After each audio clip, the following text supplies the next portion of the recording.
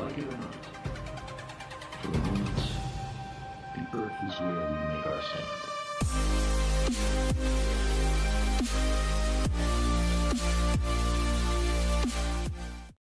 Yes, it's another Kerbal Space Program video. One of my fans described KSP not as a game, but as an educational tool, and I consider it to be both. I've already used it for one video to illustrate the basics of orbital mechanics, and today I'd like to explain how it parallels real world space exploration. You see, space travel is an industry, and it's gone through a number of phases over the years, shifting its focus and budgetary restrictions in ways that seem, from the outside perspective, oddly random. However, when you play a career game of Kerbal, you begin to understand exactly why things went the way they did. The game starts, technically, in an era equivalent to the 1940s, shortly before NASA was actually founded. Basic scientific discoveries were made using small ballistic rockets equivalent to the V 2 rockets that were fired into the sky by the Army Ballistic Missile Agency. These rockets were modified from their military origin, with their explosive payload replaced by a package of instruments weighing half as much as the warhead. The real legacy of these rockets were their use as preparation for the next flights to space. They laid the foundation for liquid fuel rockets that would come later, and in 1946, V 2 number 13 would become the first man made object that would take a photograph from outer space from an altitude of 105 kilometers. Ooh, look at that curve. In KSP, the game's first goals are to fire basic solid fueled rockets to different altitudes to gather scientific data from different heights and eventually escape the atmosphere. While the Earth's Kármán line is approximately 100 kilometers, the planet Kerbin is scaled down by about one third, making its Kármán line at about 70 kilometers. On the way to reaching this point, one will develop rocket technology enough to be in an era comparable to the NASA Mercury and Gemini programs in the 1950s and 60s. Around this time, the space race had kicked off following the launch of the Soviet satellite Sputnik 1, becoming the first artificial satellite to orbit the Earth.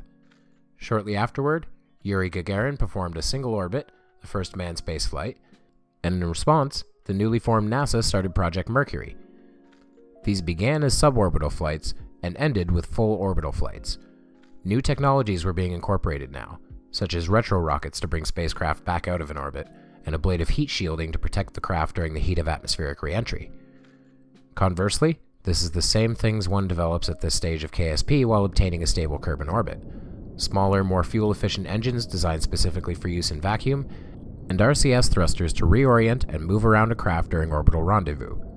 Around this time, one may encounter a phase of the game similar to Project Gemini, which had goals to perfect the technology and techniques that would later be used for Apollo, such as EVA activity and pioneering orbital maneuvers to achieve rendezvous and docking. The next point of focus in the game quickly becomes the Mun, a celestial body obviously analogous to the Moon. Now that research in low and high orbit have been done, heavier engines are available to make orbital transfers to the Moon and eventually achieve a stable orbit around it. We are now in an age comparable to the Apollo program, arguably the golden age of space travel. I find a good metaphor for Apollo to be the lengthy voyages across the oceans during the days of colonizing the Americas. These were primitive wooden ships with no equipment more advanced than a compass and the stars above to navigate. These were dangerous voyages undertaken by daredevils, much like the Apollo missions. Primitive computers aboard powerful, expensive rockets sent die-hard Air Force pilots deep into space, and at this point, there wasn't any infrastructure to support such a thing. There were very few satellites, and global efforts were needed to keep in contact with the spacecraft. Much of this is the same in KSP. The rockets available to send Kerbals to the moon are primitive, expensive, and powerful. The first CSMs are usually simplistic Mark I command pods with a single occupant, or maybe a two stage lander, also usually having a single Kerbal that actually lands on the surface. Most of the science is gathered thanks to having well trained Kerbals who have had practice due to the Mercury and Gemini phases of the game, and the moon becomes a scientific gold mine, as each large crater on it is an individual biome with its own data to be gathered. Down two and a half. Forward. Forward. That's 40 feet down, two and a half. Picking up some dust. 30 feet, two and a half down. Straight shadow. Four forward. Four forward. Drifting to the right a little. 20, down a half. 30 seconds forward. Just. Okay.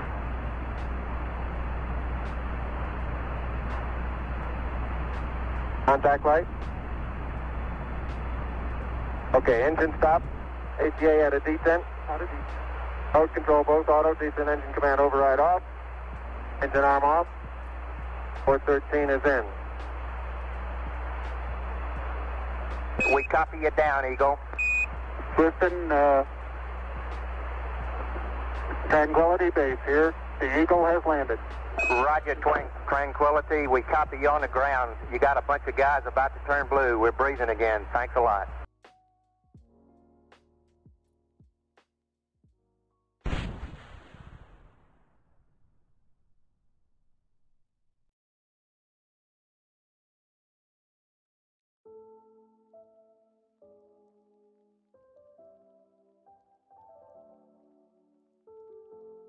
This allows the player access to a massive array of technology, bringing us into the next stage of space travel.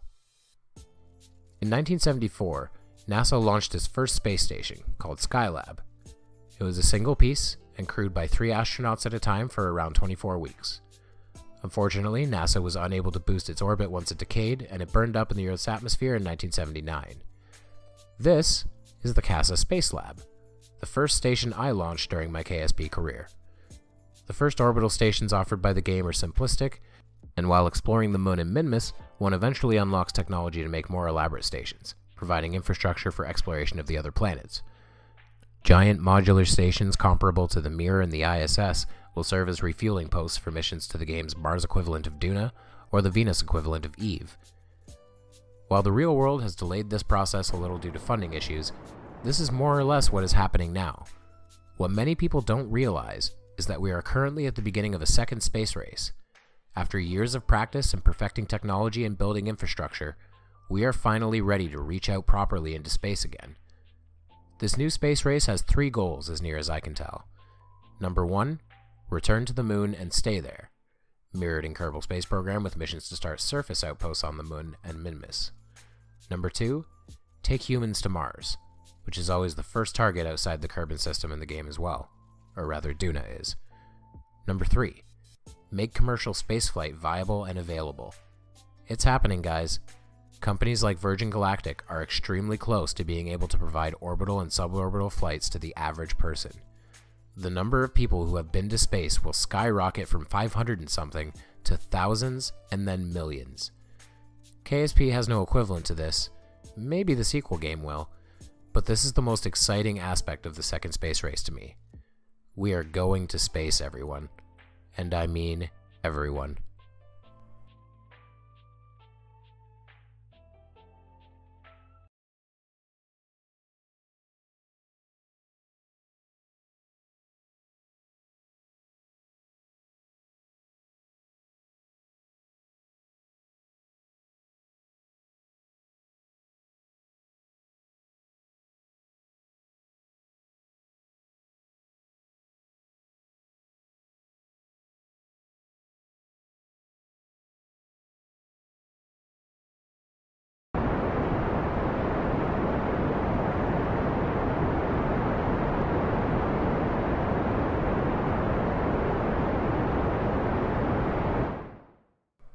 If you like this video, please give it a like. If you want to see more, please subscribe to my channel, which is Dead Kennedy in Space. If you want to support me further, consider donating on Patreon or purchasing some of my work through Amazon or Teespring. Thank you, and I'll see you over the curve, Space Cowboys. Live there. On the mote of dust. Suspended in a sunbeam. In a vast cosmic arena.